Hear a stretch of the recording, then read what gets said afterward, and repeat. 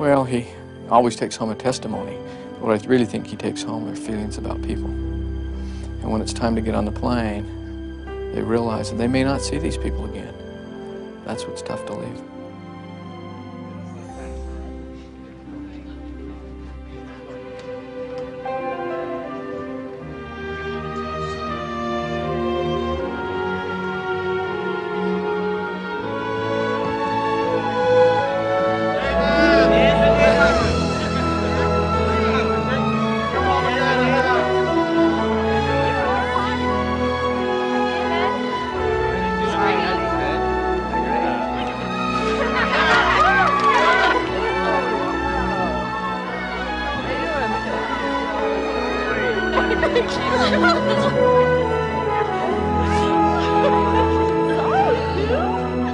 There's no question, it's been the best two years of my life.